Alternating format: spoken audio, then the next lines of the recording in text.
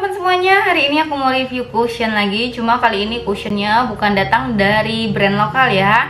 Cushion ini adalah cushion dari Korea. Dan kayaknya cushion ini juga lagi nge-hype ya. Tapi kayaknya aku telat banget untuk review Jadi beberapa orang udah review Ini adalah IOP Air Cushion yang matte long wear. Jadi aku punya ini nih sebenarnya udah cukup lama banget Waktu aku dulu beli di Altea.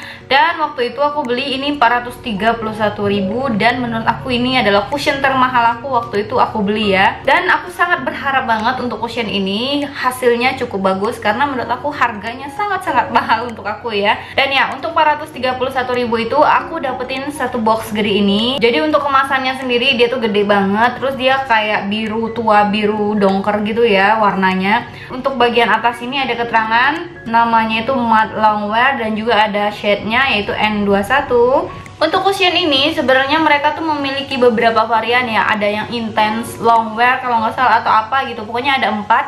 Dan aku punya itu yang matte longwear dan untuk yang matte longwear ini dia juga punya kalau nggak salah itu 4 shade dan aku pilih yang N21 untuk harga 431.000 itu kita akan mendapatkan satu cushion dan ada refillnya juga yang sudah dibungkus begini jadi ya higienis ya untuk kemasan dari cushionnya ini sendiri, dia tuh gendut, terus dia bulat seperti biasanya dan ini bersih, bersih banget maksudnya tuh putih ya. Dan teksturnya ini licin kayak glossy-glossy gitu.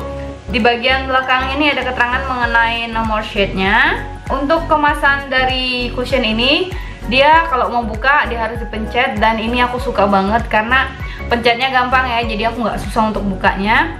Di dalamnya juga ada puffnya seperti biasa. Nah ini aku udah cobain ya kemarin ya. Jadi sebelum aku buat video ini sebenarnya aku udah buat video cuma ternyata aku salah setting lampu jadinya keterangan banget aku nggak bisa lihat apa-apa jadi kayak hasil cushionnya tuh nggak terlalu kelihatan gitu. Jadi akhirnya aku buat video ini baru lagi. Nah, ini puffnya ini warna biru tapi karena aku udah pakai jadinya dia kucel.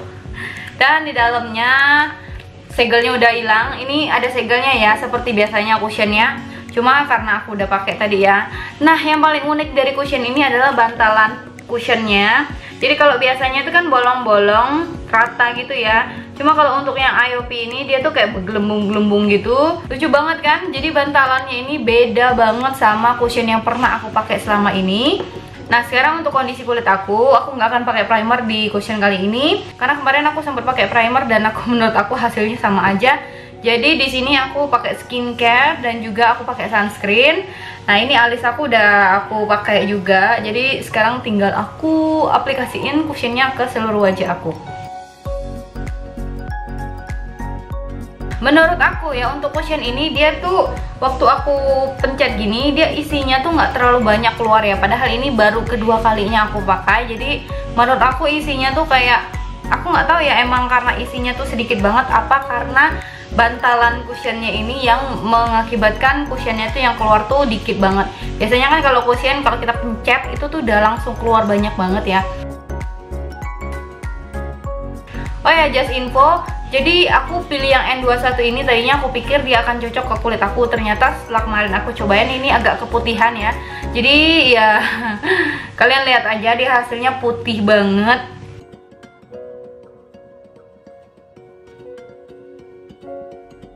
Nah ini dia hasilnya. Kalian bisa lihat sendiri ini putih banget. Dan aku lihat sih kayak ada abu-abu gitu ya dikit ya ini dia. Tapi untuk coveragenya sih menurut aku ya bisa dikatakan dia medium tapi nggak sampai medium banget sih menurut aku. Karena dia masih ada nih merah-merah di bagian wajah aku. Dan untuk hasilnya ini dia seperti semi matte ya. Jadi kalau aku lihat kayak gini itu dia nggak ada glowy-nya. Terus kalau aku pegang dia ada sedikit lengketnya dikit banget tapi ya.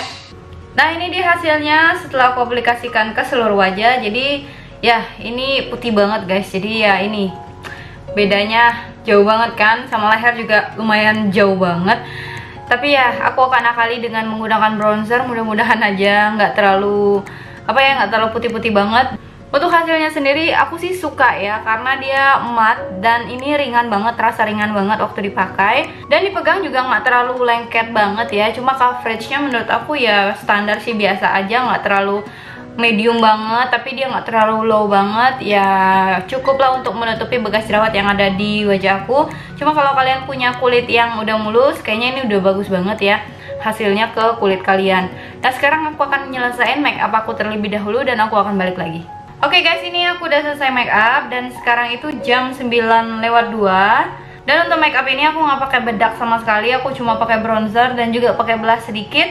Dan mata pun aku nggak pakai eyeliner sama nggak pakai maskara karena aku lagi males. Kemudian aku pakai lipstick dan ya sekarang aku akan cek ya ketahanan dari cushion ini. Apakah cocok untuk kulit yang berminyak dan apakah bagus hasilnya? Selama aku pakai mungkin kurang lebih dari 5 jam aku akan update lagi seperti biasanya. Hai guys, aku balik lagi dan sekarang itu jam 12 lewat 54 Jadi hampir 3 jam aku pakai cushion ini Dan ya setelah aku pakai selama 3 jam aku tuh merasa nggak terlalu betah ya.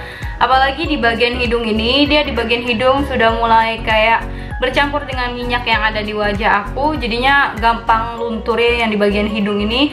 Kalian bisa lihat ini udah hilang karena tadi aku sempet kayak ngelap di sini ya setelah makan. Dan aku kayak kayak lagi pilek gitu jadi kena tisu dan akhirnya ini hilang sebagian. Kemudian yang di bagian pipinya ini dia tuh menggumpal lagi guys. Jadi ya setelah minyak aku keluar dia gampang banget kayak bubar gitu dia cracking ya.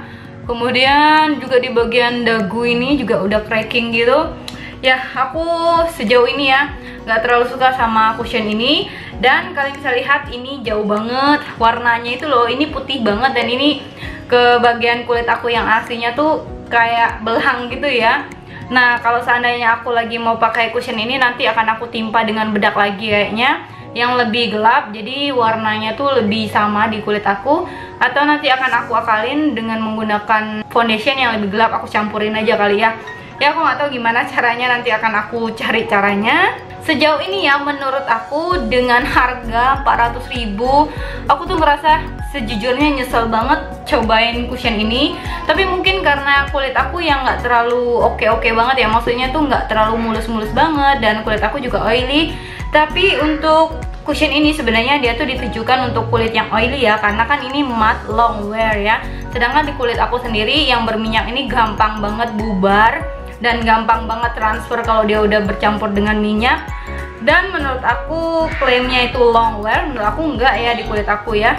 Tapi sebenarnya untuk hasilnya sendiri dia tuh lumayan ringan dan juga matte bener-bener dia matte gitu ya nggak ada lengket banget gitu. Kalau seandainya kayak yang dewy cushion itu kan biasanya lengket nggak enak gitu ya cuma kalau yang ini bener-bener matte dia bagus ya semi matte gitu loh nggak matte banget ya gitu ya dan ya mungkin videonya akan aku akhiri di sini karena menurut aku ini cushionnya walaupun aku pakai sampai 5 jam pun mungkin dia akan cracking dan tambah parah crackingnya ya. Jadi ya buat apa aku lanjutin, aku akan akhiri sampai di sini. Dan sekarang aku akan cek dengan oil paper se-oily apakah kulit aku. Nah, jadi untuk ini sekarang tuh nempel kan, kalian bisa lihat ini walaupun dia tuh katanya matte ya, tapi dia tuh masih lengket gitu. Dan ini kalian bisa lihat nih minyaknya udah mulai nempel gitu. Kemudian yang sebelah kanannya juga. Dan ini dia hasilnya. Cushionnya itu nempel guys di oil papernya berbeda dengan cushion yang dari Pixi kemarin walaupun dia berminyak tapi dia nggak nempel di oil paper ya dan sekarang aku akan ke hidung. Ini bagian hidung yang paling oily. Nah ini dia hasilnya setelah aku pakai oil paper. Jadi minyaknya lumayan banyak ya. Dan ya guys aku rasa segitu dulu video hari ini. Thank you banget buat kalian yang udah nonton video ini. Sampai ketemu di video berikutnya. Bye